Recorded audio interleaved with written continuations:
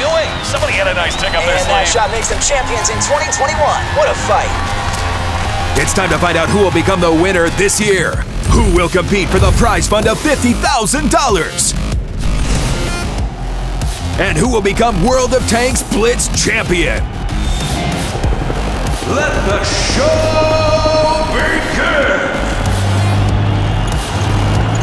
Blitz Ultimate Cup 2022.